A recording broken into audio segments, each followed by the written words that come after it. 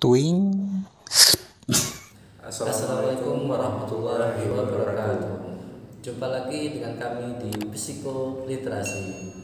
Kali ini kita akan membahas sesuatu yang lagi fenomenal di dunia internet, di media Twitter sosial, ya? di Twitter.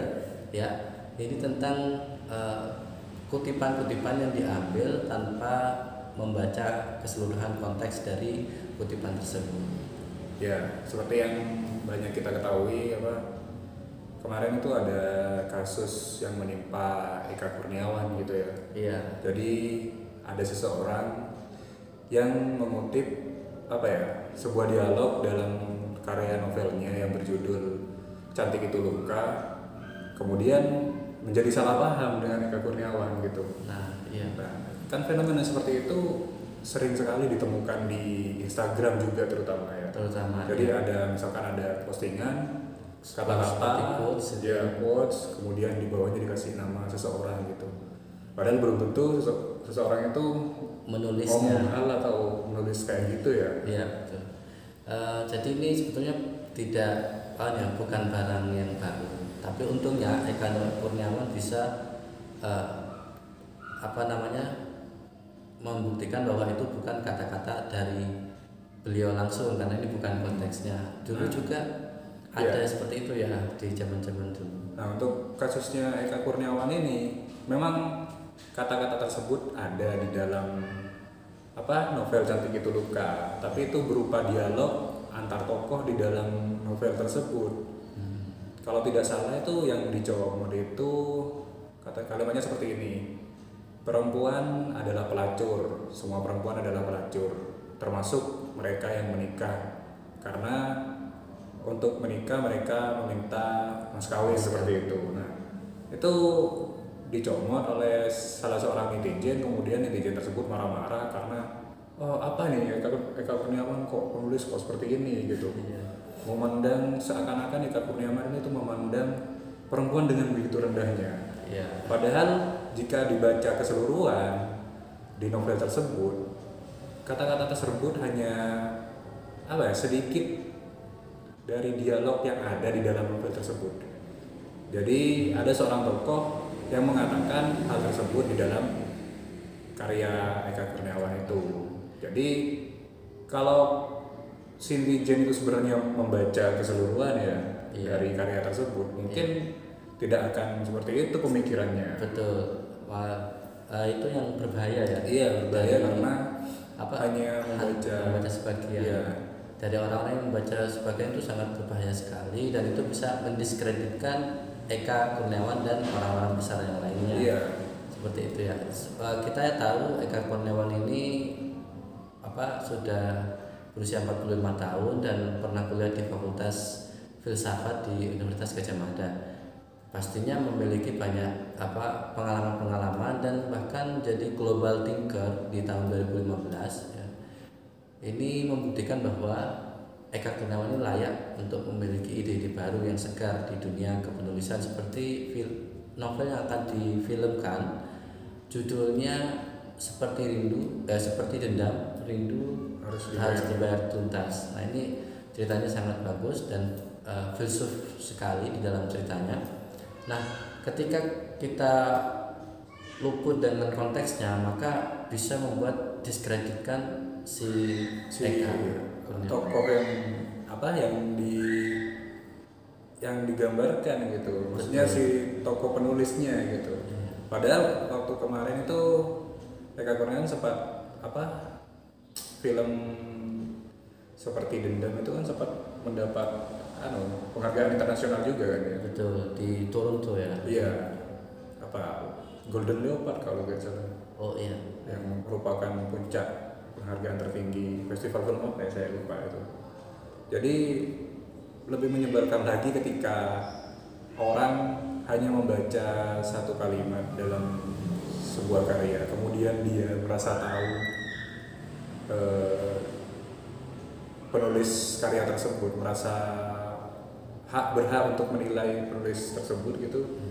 Padahal kan dia nggak kenal, nggak apa, nggak pernah ngobrol, nggak pernah bahkan membaca karyanya pun setengah-setengah gitu. Iya. Tapi merasa bisa menilai berhak menilai gitu Iya.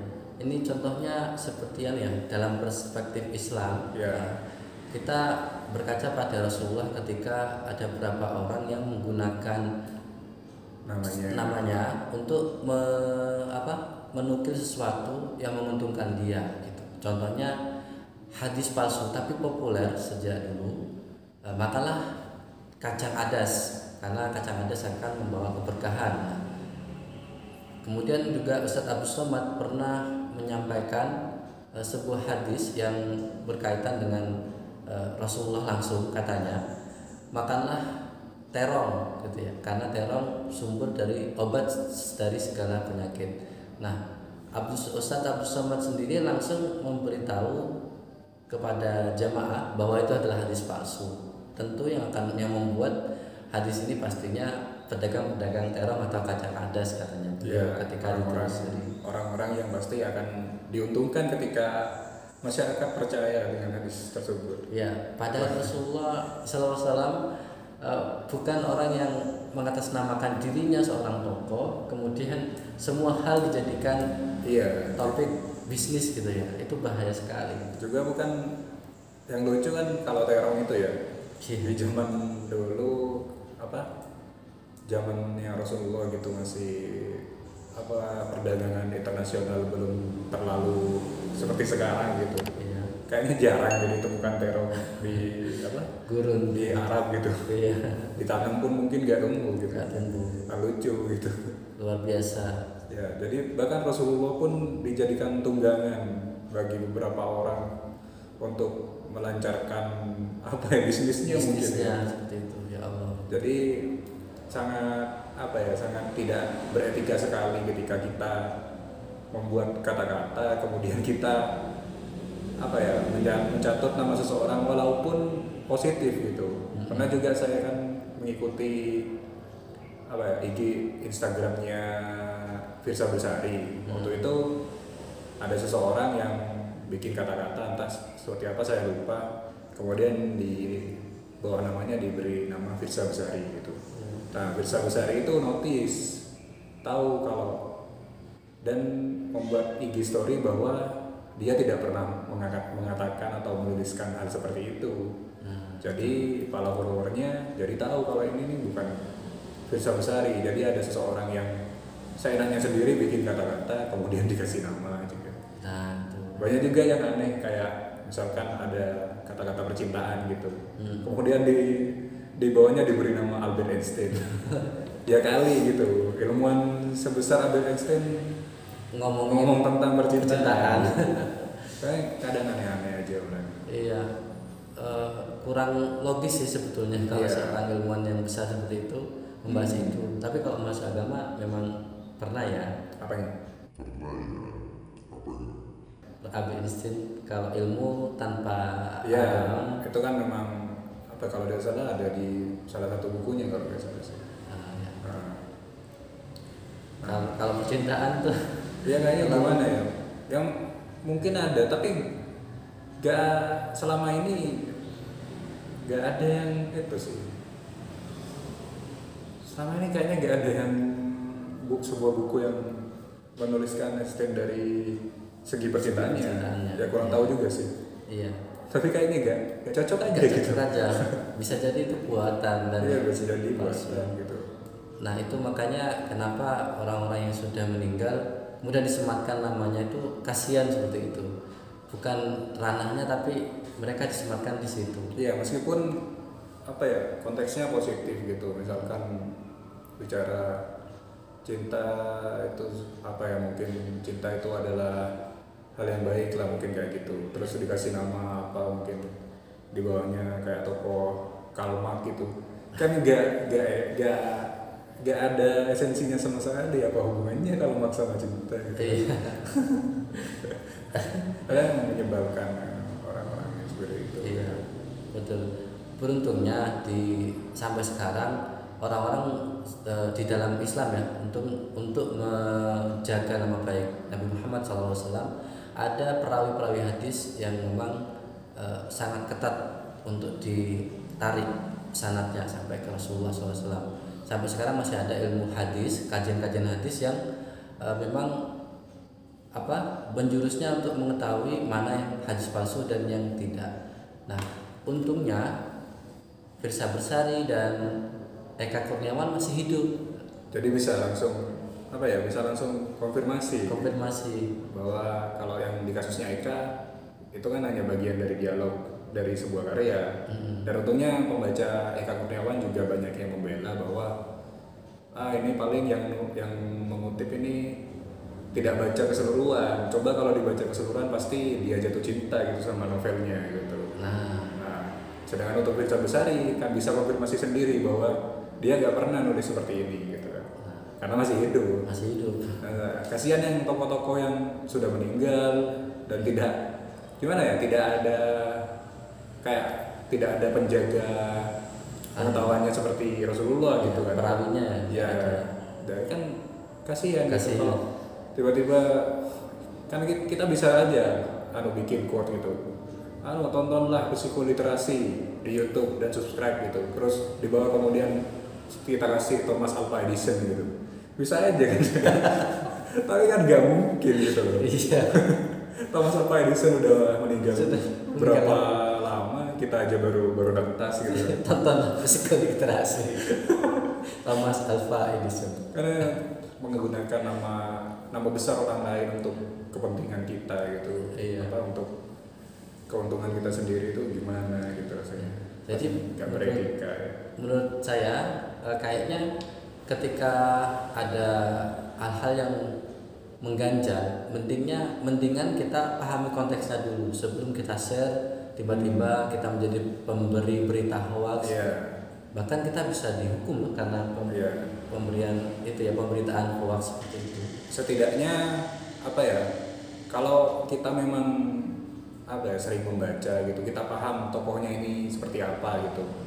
Misalkan tokoh seperti Einstein, Thomas Alva Edison dan tokoh-tokoh besar lainnya pasti akan merasa ragu kalau ada sebuah kata-kata yang kok gak gak seperti Einstein gitu yang ngomong pasti ada ada ragu gitu sebelum mesek apa membagikan gitu. Membagikan, ya. membagikan pasti ada timbul rasa ragu di dalam hati. Makanya apa ya sangat disarankan untuk ya itu ya suka membaca sebenarnya. Betul. Hmm, suka membaca itu ya. kenapa hoak-hoak seperti itu populer gitu di Indonesia? Karena mungkin memang itu entah akses membaca atau minat membaca yang yang kurang. Sebagian mengatakan akses membaca yang kurang sebagian juga mengatakan minat baca yang kurang gitu. Kalau akses sih. Kalau untuk akses misalkan di pedesaan gitu, mungkin bisa dikatakan aksesnya yang kurang. Tapi memang ketika banyak teman-teman yang melakukan apa ya, kayak punya apa, misalkan ngirim buku-buku ke pedalaman gitu, memang mereka antusias sekali untuk membaca. Justru yang hidup di perkotaan yang aneh, Iya. akses banyak tapi gak mau baca. nah betul ini Apalagi ada handphone gitu, tapi gak mau baca. Saya mau baca.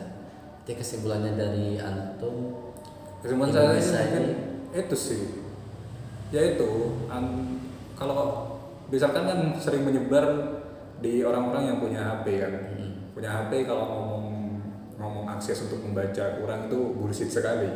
kalau sudah punya HP gitu, Iya. apalagi smartphone gitu kan, Betul. bullshit sekali. Jadi memang minatnya aja yang nggak ada gitu, baru membaca. Apalagi kemudian sok-sokan mengutip satu karya gitu padahal tuh tebel tebel novelnya cantik itu luka punya Eka Kurniawan tuh seperti ini itu mungkin sampai lebih dari 500 halaman gitu tapi dia sok-sokan ngutip hanya satu kalimat dan dia merasa tahu keseluruhan cerita dari novel tersebut itu itu fatal sekali fatal banget. Ya Allah. Ya. Indonesia memang darurat ya dalam hal literasi. ya sayang sekali sih jadi sukanya apa ya mengkonsumsi kabar-kabar yang seperti itu Iya. Ya kita pahami sendiri. Saya saya dan Asyiki juga berusaha untuk selalu haus dengan literasi dan mudah-mudahan teman-teman yang menyaksikan kita di sehari ini uh, kita juga berusaha untuk eh, semakin haus dengan membaca seperti itu. ya dan intinya semakin banyak tahu semakin kita akan hati-hati sebenarnya Iya. Iya, makin banyak tahu kita kan semakin hati-hati. Pokoknya atau mungkin gini, kalau kita memang tidak tahu tokoh ini terus kita mendengar kabar tentang, tentang tokoh tersebut, kita harus cek dulu lah kebenarannya. Ah, ya. Apakah benar dia mengatakan seperti ini gitu? Apakah memang ini yang dimaksud dia? Tuh, jadinya apa ya? Kalau cek dulu sebelum sharing lah. Seperti kata Habib Habib Jafar, Habib Hussein Jafar ya. Ya.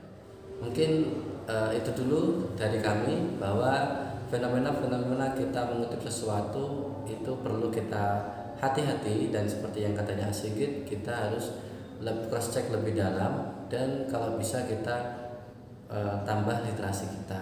Ya, jangan ber, jangan berhenti saat jangan berhenti di membaca quote saja gitu, tapi baca buku gitu, baca buku, baca artikel gitu. Betul. Kalau baca quote kan cuma sekilas gitu doang gitu. Iya.